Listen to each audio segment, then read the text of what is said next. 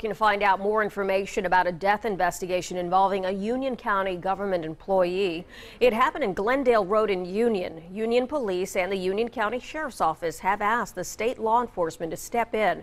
Union County coroner confirming the investigation was about an employee but did not release that person's name or how they died. We'll let you know as soon as we have more information.